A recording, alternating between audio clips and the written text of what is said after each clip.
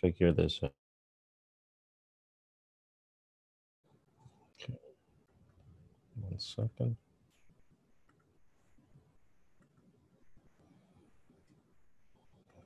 Okay.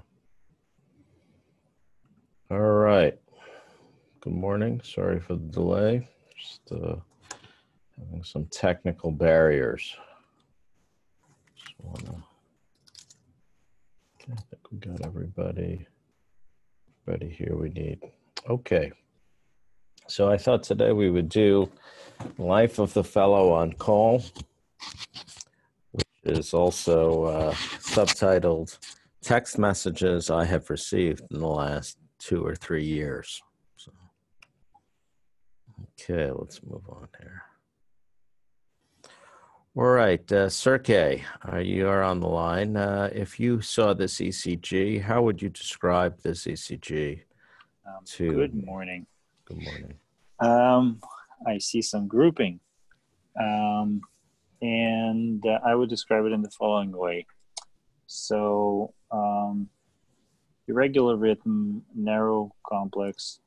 I um, checking whether there are P waves before the QRSs. Um, so I see some P waves, but they are not the same. Um, and um, I believe there is some uh, active P, atrial ectopy. So I see a P wave. If I look at the V1, I see a P wave and a QRS, then a different kind of P wave and a QRS, then a pause. So I think that this is a uh, premature, maybe atrial contraction that was conducted. Then there's a pause, and then regular P wave, um, regular P wave, and then another. Um, so I would call it a atrial trigeminy. That is correct. This is uh, some sort of atrial trigeminy. Do you want to hazard a guess as to where this focus might be coming from? So if we look at the axis of the P wave, um, it looks like that it's um, one second. It's positive in one. It's mm, negative in two and three. So I would say lower right atrium. That's right. It's probably coming somewhere in the low atrium, right? Because it's uh, in it's inverted P wave in the inferior leads. So, therefore, we would anticipate that it's coming somewhere uh, low in the right atrium, moving away from that area, hence a negative P wave in that region. So, yes, so you would describe this as uh, atrial trigeminy. Is there anything else unusual about this uh, tracing? Mm, Would that be a full description of the ECG? What about the the rate, the axis, all of that Right. stuff? Um, well, the the rate I um, Rate's hard to describe because Right. it's irregular, right? because it's irregular. Um, the axis is um, it's negative in one and uh, positive in AVF. Um, so it's uh, right axis deviation. Mhm. Um, and then the P waves are, I don't well, see the any P waves you signs. you sort of already described. it. Right. I mean, I don't see any signs of uh, right or left atrium enlargement. Right. Um, the um, PR interval is, it looks like it's within 120 milliseconds, or maybe two, three, four. Maybe it's a little bit longer actually. In, uh, but still, it's acceptable, I would say. How old is this patient? I don't recall. I believe it's a baby, actually, Um, less than a year of age, let's say. QRS is narrow. Mhm. One, two. Yeah. Um, Okay. And then uh, QT interval is um. Mm,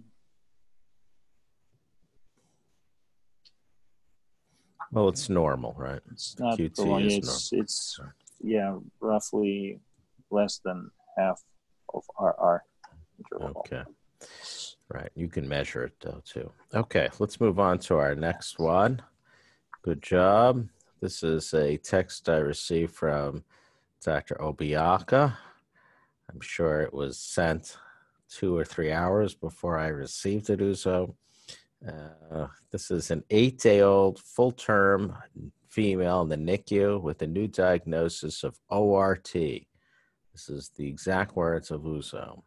Admitted to the NICU for respiratory distress, noted to have tachycardia, asked to review the tele, which shows two episodes for SVT, heart rate 300, few seconds terminated spontaneously associated with desaturation to the 80s, no blood pressure checks during the episodes, hemodynamically stable. Would like to start propranolol at 2 per kilo per day in Q8 dosing if okay with you. So, do you agree with Uzoma? Let me see uh, if uh, Dr. Neha Lawali is on the line. Do you agree with Chief Uzo in her diagnosis? She says it's a new diagnosis of ORT. And do you agree with her approach? Uh, hi, Dr. Pass. So, um, eight day old with this rate um, of with this heart rate um, i would assume it would be my guess would be it's likely um, ort and um, now why do you say that? Why would it be ort yeah i'm just so, asking for general principle question. Oh, so for uh, newborns and infants the most likely cause of tachyarrhythmia uh, would be AVRT or ORT. Um, That's true. About rough, what percentage roughly? Um, 80, 70, 80%. Something so, like that. That's probably right. Okay. What's um, the next most common? After ORT, um, atrial tachycardia? No, it's AVNRT. AVNRT. Right. Maybe an RT. And then what's the third most common? Um, is that atrial? atrial flutter. Yeah, atrial, atrial flutter, yeah. right? We're talking about yeah. a newborn, so actually eight days old. So. Mm-hmm. Isn't that a nice picture I have of Uzo in my phone here? okay. Um, um, so, um, so this is the tracing. This is the data that Dr. Obiaka has provided you. This was all the data that I had. Right. Um, so this looks narrow complex and uh, the heart rate 300 as she had said, and then it breaks um, in the middle or towards the end of the page. And the QRS complex looks similar to that, but you see um, in some you see P waves, although it's hard for tell access on the telly, um, um, I would say it could be um, ORT, and I would, um, uh, and I think I would agree with starting propranolol. Right. So, you know, the question is can we tell from looking at this tracing if this is truly ORT or AVNRT? The first answer is no, we can't. We can pretty much rule out atrial flutter, right? Right. What's the heart rate normally when someone has atrial flutter in a newborn period? What's the ventricular rate typically in those circumstances? Uh, between 150 to 200. Like Usually closer to 200. 200, yeah. Right. And so it's this two is to a one little, block usually. Sorry. Right. So this is a little too fast, or even three to one, because remember the atrial rates can be as fast as 600 in a in a newborn in atrial flutter. But this is um, notably fast. So 300 is certainly more consistent with ORT or AVNRT. And uh, how would we normally make that distinction between the two? So um, based on a 12 lead EKG, if you can see um, retrograde P waves, um, usually if you see P waves, that means it's a longish RP interval and it's likely ORT or AVRT um, as compared and, to, yeah. uh, what is that RP? You said a longish RP. What number are you thinking of? It's more than 50 milliseconds, 70 milliseconds. 70. 70, 70. is the Mhm. 70 is the line in the sand. Mhm. Um, so now the question is, can we see retrograde P waves? And it's hard to know for sure. I think you might be able to convince yourself that the T wave is a little bit more pointy than in the sinus beats, although it's a little bit hard to tell. So I think the answer is that I would agree with Uzoma, but I'm not 100% sure both of us are right that it's ORT. Um, now, uh, what is the starting dose of propranolol for an infant with SVT? We can start with um, even lower than that, like one mg per kg per day. Yeah, I think Um, yeah, I Mhm. think one to two per kilo would be a reasonable starting dose. And how frequently, Dr. uh, Obiaka recommended Q8 dosing. Uh, is that okay with you? She's asking. What do you think about that? I think to start with, it's okay if we're having more, if we want to make it more frequent, we could also do Q6. Um, Right. So the question I'm asking is really the pharmacokinetics, and it turns out that really it needs it's supposed to be dosed Q6 because of the half life in in babies. However, because of our recognition of how difficult it is to give this medicine Q6 or any medicine Q6, it's fairly traditional to give it Q8, understanding that we will not be as well protected towards the end of each dosing eight hour interval. So, yes, we would do that normally. Okay, let's say that there is a, uh national shortage of propranolol. So, what would you use then, Neha? um, I could go old school and try digoxin also. Yeah. How much digoxin would you put the baby on? Uh, I don't remember, but is it five mg per kg? Like not loading, but just um, starting them on it. Did you um, say five milligrams per kilogram? micrograms per kilogram? Yes. Uh, So, so usually in a full term baby, you can go as high as 10 mics per kilo per day divided BID. Mhm. Um, some some references would say should go should start at eight, um, and in a premature infant that's substantially lower, it could be like four or five mics per kilo per day. Um, okay, uh, let's say you don't have that. What else could you use? um, we can use um, amiodarone. No, it's Right. not. A lot of countries use it as their first line agent because it's uh, relatively inexpensive, and it's uh, how often do you have to give amiodarone each day?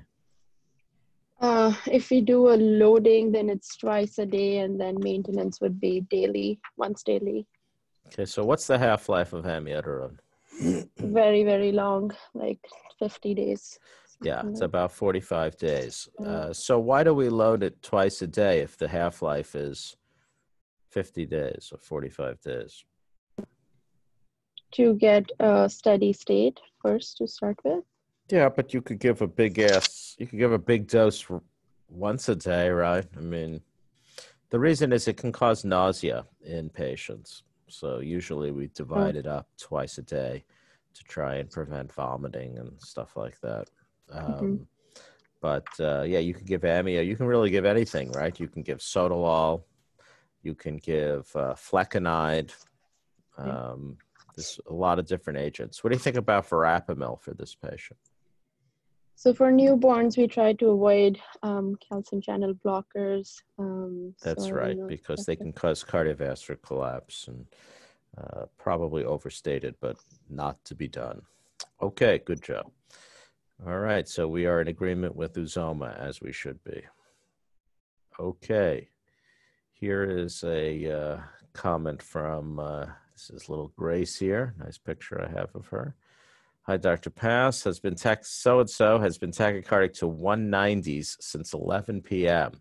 He's been hemodynamically stable. We were able to get an EKG, and I'll show you them in a moment. The second one is an atrial EKG with V1 and V5 on the atrial wire. It looks like the P wave may be immediately after the QRS, making this AVNRT, though I'm not entirely sure I see the atrial spike. We increased the esmolol. We're correcting electrolytes. We're wondering if you had any thoughts. So let's look at this tracing. So this is the uh, initial tracing that uh, Grace was kind enough to send to me. And to make it easier for you, I will show you the um, A-wire tracing. So Dr. Kong asked if this was possibly AVNRT. Um, so why don't I ask Dr. Kong's close associate, Perna Bansal, if she has any thoughts on uh, whether she agrees with her dear friend, who she will always be tied to for her entire lifetime, Grace Kong. Good morning, Dr. Pass. Good morning, Perna. Do you agree with your dear friend, Grace Kong, that this could be AVNRT? Um, as Grace mentioned that the spike uh, V1, I mean, in V5, I don't see, but in V1, there are like, I'm not very convinced if the the spike right before QRS is is uh, P wave. Well, the one Uh, thing I, before we go any further, I know she said she put it on V2 and V5, uh, V1 and V5. Right. But if you look, V2 clearly looks different, doesn't it? Yeah, that's true too. That looks to me like an A wire tracing. So, Mhm. Yeah. so I think this is actually, uh, you know, this was the middle of the night, and although Grace is virtually always correct, I think in this Uh. particular case, this was a typo. Also, I'm sure that this this may not even have been Grace who did it, right? This could have been the physician assistant at night and sending it Mhm. to Grace. So Mhm. we will not impugn Grace. So, but let's Uh, looking at V2. Do you think that this is So- likely to be um, AVNRT as she has suggested the possibility? So I feel the PR, uh, the RP interval is not constant here. If you, if I see the bigger spikes, if I consider them P waves, then it's it's like um, all over the place. Sometimes it's before the QRS, and sometimes it's after. And which rate is faster, the ventricular rate or the atrial spike rate? The atrial rate. One- Just give me one moment. Sure. Uh, I think it's the atrial rate that's uh, counting. no, I think it's actually ever so slightly Okay. slower. Yeah. It's very close to each other, so I would say They are very close, I agree. But I think that the R to R interval is ever so slightly shorter than the P to P Mhm. interval. I so- agree with you because the RR interval is like close to eight or nine small boxes, Mm-hmm. and then this is like about 10 boxes atrial Okay. spike. Yeah. I'm not sure if I can call it AVNRT, honestly, Dr. Pass. because I'm not sure of the AVRP interval. So this would be one of those rare moments when you're not agreeing with Dr. Kong. So, um, so we have more ventricular beats than atrial beats, wouldn't you say? Mm-hmm. Yes. So, uh, what do you think this is then? When there are more V's than A's, we have reviewed in this conference previously that there are generally only two possibilities. Um, I mean, more V's than A's. It could be like idioventricular rhythm, Right? Or VT. I mean, this Or is pretty fast, right? It could be VT. not like wide complex, it's narrow complex. It is, but it's a baby, remember? Although the axis is relatively normal. And I'll, I will just tell you for the sake of discussion, this is the patient's normal QRS axis. Mhm. So then what else could it be? So when the V rate is faster than the A rate, the other thing we worry about is jet, right? Jet, yes. Right. So it's an important rule that when the ventricular rate is greater than the atrial rate, it is uh, oftentimes the diagnosis is jet. And so I think in this particular patient, the answer was jet. What's interesting about this patient is that this this tracing occurred many, many, many days after surgery, like three weeks after surgery. So very unusual to have jet so far out from surgery, but in fact, that's what the patient had. So one of many arrhythmias this complex patient had. So again, you want to look at the, there's no relationship, right? If this were AVNRT, then the A should be falling basically on time with the QRS in every single beat, which it's not. And as you astutely pointed out, there is not a consistent relationship between the A's and the V's in this tracing. Okay. All right, this is a tracing. Um, this is a tracing that was sent to me from a former fellow, former attendee of this conference. Hi, Dr. Pass. Just wanted a second opinion on a telly strip. There's a two week old baby who I was consulted on for a murmur. The echo was normal. The NICU thinks he had an SVT episode to a heart rate of 300. They didn't get an EKG and sent telestrips that are hard to tell, but it looks to me like long RP tachycardia, and his heart rate came down after vomiting. This is the tracing. Welcome to my world of how easy it is to see these excellent tracings that are sent to you. This will happen to you in your career. Um, why don't we ask uh, David Barris if you agree with this former fellow's interpretation? So, this fellow is making a distinction between SVT and um, long RP tachycardia. So, do you have any thoughts on what this is? Um, yeah, I mean, it's a kind of a poor quality tracing. Um, so trying to make sense of it here. I Um, appreciate is- your falling back on that. That's good. I like that. Um, otherwise, it is a it, terrible tracing. it does look like the heart rate is a, is approximately 300 beats per minute, at least the ventricular heart rate. Mhm. Um, and then I'm just kind trying to kind of piece together P waves um, on here, and I do feel like I'm able to appreciate um, um, some P waves that are happening. It looks to be after the uh, QRS complex, um, and again, kind of tricky, but I would say they look to be about two boxes after. Um, Mhm. so I think I would agree with the assessment that um, there's an RP interval more than 70, um, More than 70 milliseconds. more right. than 70 milliseconds. Right. So I agree with you. I mean, it's very hard to tell on this lousy tracing. Um, and this is not the former fellow's fault. This is the fault of whoever sent the former fellow this tracing. Um, but maybe you could make out a, a retrograde P wave here. This is very hard to tell. But certainly, if the heart rate's 300 beats per minute, as we just said with Neha, the likelihood is high that it's SVT. But I think it's important, you know, it's interesting how she's making a, a distinction between SVT and a longer RP tachycardia. So the first thing I want to say is generally when people say long RP tachycardia, they don't actually mean that the R to P interval is greater than 70 milliseconds, although that's how we've been using it here. When they say long RP, they mean very long. We're talking about the diagnosis of PJRT or the permanent form of junctional reciprocating tachycardia, where the RP interval can be 200 or 250 milliseconds. In this conference, we use the term RP interval, long RP, to denote the difference between an RP less than or greater than 70 milliseconds. So I, I think that what the fellow, former fellow, is saying is that the RP interval is greater than 70 milliseconds. Therefore, she believes it's ORT.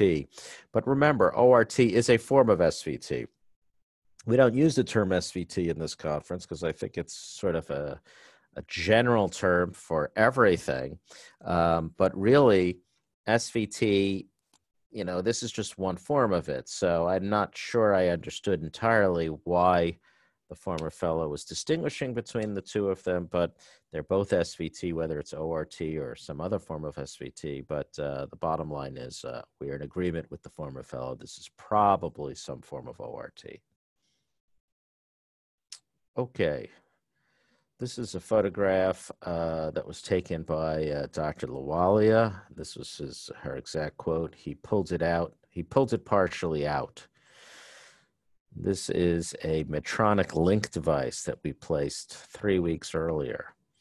So I'm going to ask. Uh, let's see here. Actually, Grace Kong. So, Grace, you're in the emergency department, and this is what you come upon. It's terrifying. it's a little terrifying. I agree. Uh, what would you do in this uh, circumstance? Um, I would get an X-ray. Okay. and IV antibiotics. Now, why would you need an X-ray? Um, Can't you tell what's going on? I guess I would be curious if the um, the wire was still attached to the device, Now, wait. This is a LINQ device. Oh, do you it's know what? A, LINQ do you know what a device. LINQ Yes, yes. device is? like a loop recorder. Oh, It's a loop recorder, Mhm. right? Yes. Oh, so it doesn't have any wires with it. No wires. No. um, I guess we can pull it out. That's exactly what uh, Dr. Lawalia did. And in fact, it's in this uh, red bag here. Here it is. Thank you, Neha. Um, yeah, so what about the idea of just pushing it back in? Why would we not do that? Uh, infection risk. Yes, very substantial. So, um, yeah, when you have a, uh, so this happens rarely. Uh, in this particular case, we believe that it occurred because the patient, who was a small child, was, uh, we believe, was potentially uh, touching the area, um, despite it having been covered pretty aggressively, at least initially. Now, um, the problem is that once you have an infection, well, first of all, once the device is outside of the body, it has to come out because there will never be a way to clear this infection as long as there's a foreign body here. Um, so it had to come out. And so Dr. Lawalia, with great bravery, pulled the device out. She was quite excited by that, as was I, since I didn't have to do it.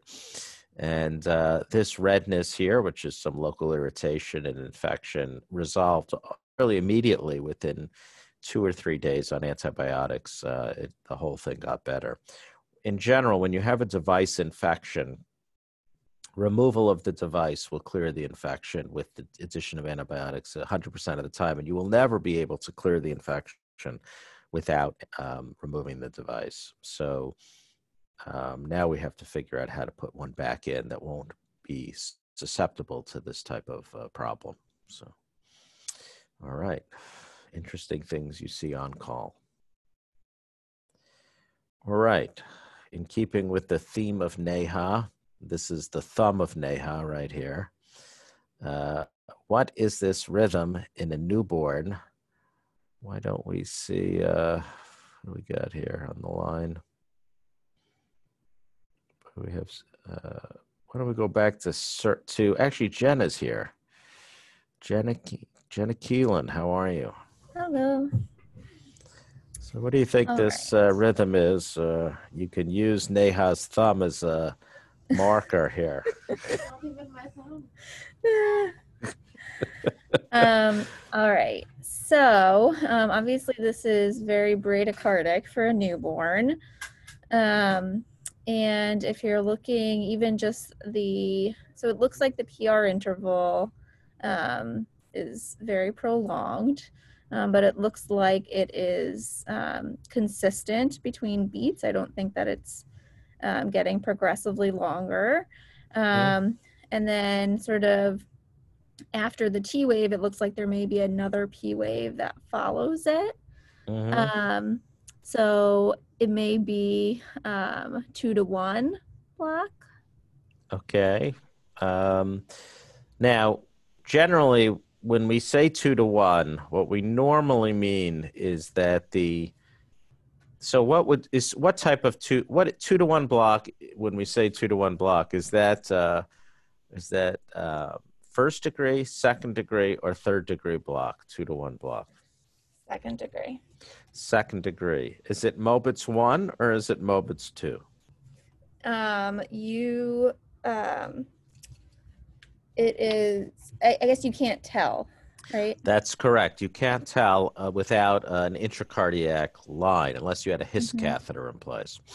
Now, in this particular case, however, so generally when someone's two to one, the P to P interval is fairly fixed, right?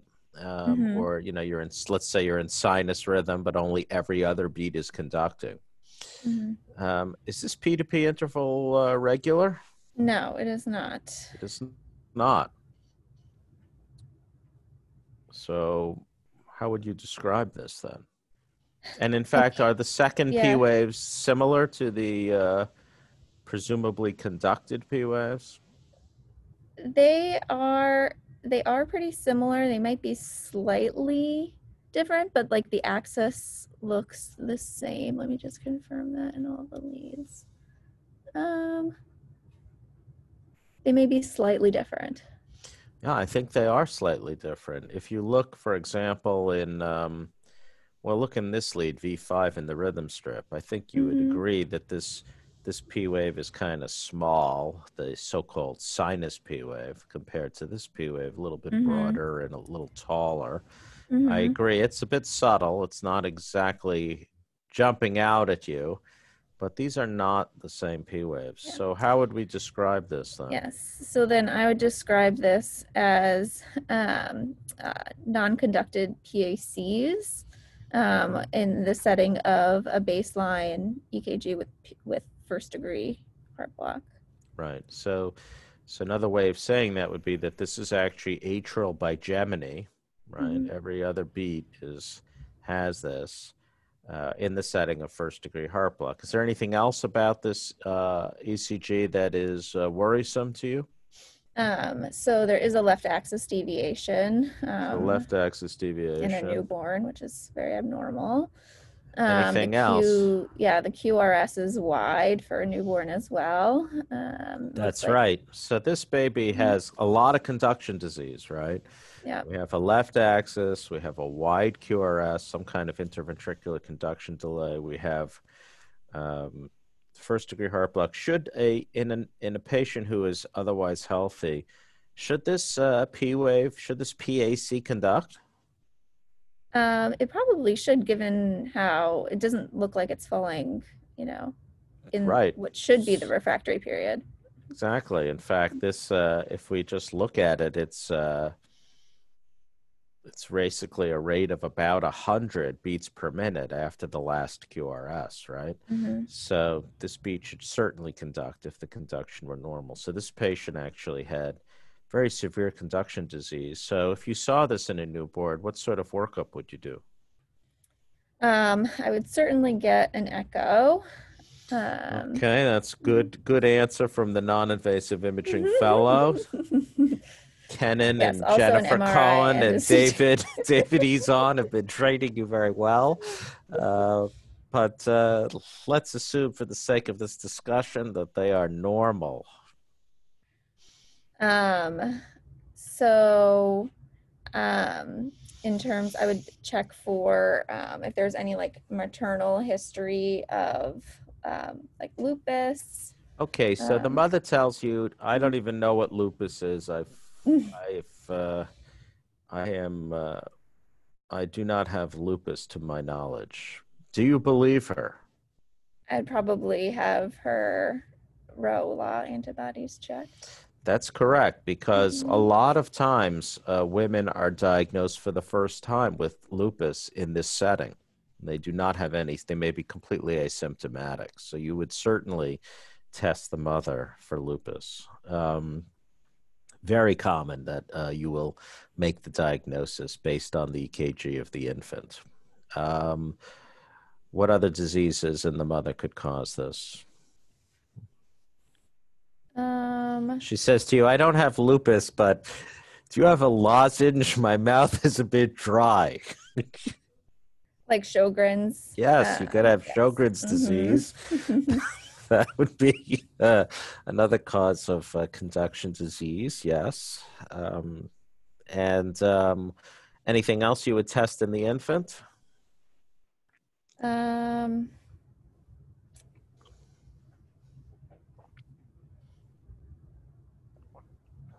I mean, I guess you could test for like neonatal lupus markers. in Yes, you could look for that.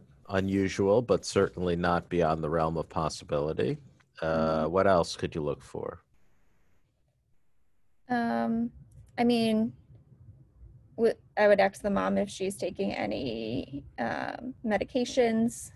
Um, so if the mom was on maybe digoxin or Okay, yes, the mother could be taking some digoxin. She felt a little sluggish that morning. Took some dig. Um, you know, you also would look for potential myocarditis, unusual in a Mhm. newborn, very rare, but not unheard of. So you would probably do like a troponin level in the infant or something like that. But this uh, patient would need a pacemaker for sure, unless you could identify a reversible cause. There aren't too many in newborn, so um, so this is a very worrisome uh, ECG, and you can see why Neha rapidly took a photograph and didn't even edit her thumb out of it. She was so concerned that I see it right away. Okay. That, Prash, could um, Yes. Congenital hypothyroidism do this? too? Yes, I believe it could actually. Uh, hypothyroidism could, yes. Thank you, Perna. Okay, here's a text I received from Sergey. I believe I was sitting on the beach when this tracing came in. This is Sergey. Of course, Sergey, I knew it was you, but thank you. I have a tele and EKG I wanted to ask your opinion about. Patient in the PCICU is a three month old with heterotaxy, AV canal, mildly unbalanced to the left, pulmonary atresia, L loop ventricles. This is the tracing that uh, Dr. Babia sent to me. It's a very interesting tracing. Um, you know, I so enjoyed that conversation I just had with Dr. Keelan. I think I'm going to ask her again if she's still on the call. Did she leave us? I think she left I'm, us. I'm here. Oh, you're there. Okay. So, Jenna, what do you? Uh, how would you explain this? What is going on on this very interesting tracing? Poor Sergey, he's a first-year fellow, and he's forced to deal with this very difficult and unusual tracing. Yes. So it looks like um, kind of a quarter way through it, the um, QRS uh, changes. Mhm. Um, the rate looks like it's, let's see, kind of similar. Um, I'd agree with that two. statement. Yep, I agree. Um, and sort of in the second half, it seems as though um, there are P waves before every QRS. What about in the Um, first half? Yes, also. Um, Okay. So it appears and- almost like the patient is in sinus rhythm the entire time, right? mhm. And yet, there is this curious change in the QRS, which the ever astute Dr. Babia noticed immediately hmm and was concerned about appropriately. Um, What do you think about the vital signs? Do they cause you any concern? um, so it looks at the bottom, the respiratory rate is 30, the blood pressure is 99 over 55. It doesn't look like there's any change in the um, blood pressure with the change in the QRS complex nor All the right, we have a nice, robust blood pressure, and our Mhm. sat, our plethysmography looks very nice and clean. No, ch- no changes. So, how can you possibly explain this unusual Mm-hmm. thing? Um, so potentially could be twin AV nodes. Yes, it is, and let's talk about that. Good guess. Good, good informed answer, I should say. So, this is, to my knowledge, the first paper that has that came out to describe this phenomenon from my very good friend Mike Epstein back in 2001, in which they in Boston identified a group of patients who had AV reciprocating tachycardia involving what they referred to as twin AV nodes. And I just will bring you to the fact that the most common anatomical finding was AV discordance, SLL or IDD, with a malaligned complete AV canal in five of seven patients. Look how Dr. Babia today was able to make this diagnosis. Same exact diagnosis heterotaxy, AV canal, unbalanced. And way back in 2001, Dr. Epstein, Dr. Walsh, and colleagues malaligned AV canal, AV discordance. So that is, in fact, what this patient had. This is a very nice tracing from that paper. This is atrial extra stimulus testing, uh, 500 280. Um, and what we see here is, is they put in the extra stimulus and we go down node one, and then we're coming back up node two, and then down node two, rather, I should say. So we're blocking in in uh, node one, and then coming back up, going up and then down. And so now we're going down uh, AV node two, creating QRS number two, and presumably going back up through AV node number one. So this is a nice demonstration of how on the left side of the screen, we're going down the AV node in through one manner through AV node number one, and in tachycardia, we're going antegrade through AV node number two and retrograde through AV node number one. And uh, so, just as in this, so this is different in that we're in tachycardia, I'm sorry, paced rhythm and then tachycardia, but very similar to Sergey's demonstration here in sinus rhythm, we're able to switch between the two. So this is a very unusual, rare finding, um, but uh, a nice example of uh, twin AV nodes. So it's a quarter of the hour, so I think we should stop now. Uh, thank you all very much. Uh, it's an interesting, uh, definitely an interesting uh, group of tracings. And thank you for all the interesting tracings that we could all share together today to discuss together. So. See you soon in a few minutes at sign out. Bye bye.